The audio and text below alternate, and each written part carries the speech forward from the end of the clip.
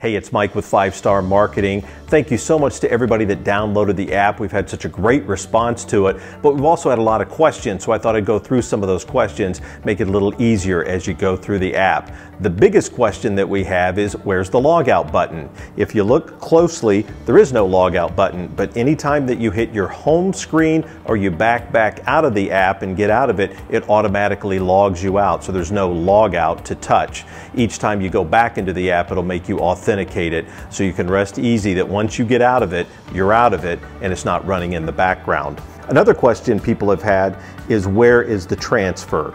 If you go to the menu at the top and click the menu, when you see the drop down, you'll see transfer and member transfer. If you hit transfer, that's how you would transfer between your own accounts. So if instance you hit it, you have a checking account, you want to send some of that money to your savings account, here's where you would do it. Or vice versa, you have a savings wanting to go to a checking account, or if you have loans, things like that, and you want to make a payment, you would do the transfer button. Underneath that on the same menu is member transfer.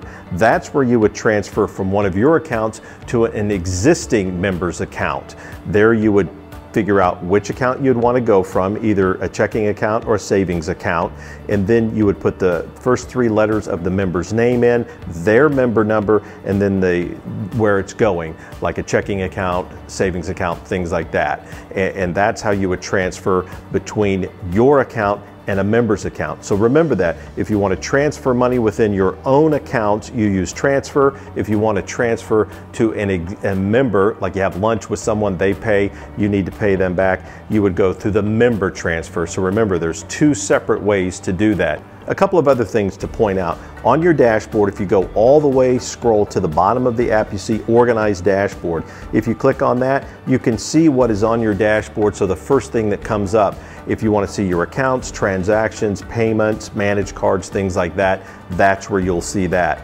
On the Manage Cards part at the bottom, if you slide the slider to the left, it turns that card off. If you turn the slider to the right, it turns the card back on. That's an easy way to cut down on fraud. When you're using your card, have it on. When you're not going to use your card, have it turned off. So if someone has stolen that card, they can't use it. And finally, something to keep an eye on is messages. That second down, we'll send tips. Sometimes we'll send important information that is going on at Five Star Credit Union through the app, and that will be there in the messages. So if you'll check that on a regular basis and check to see if we have any messages, sometimes we may have answered your question for you you.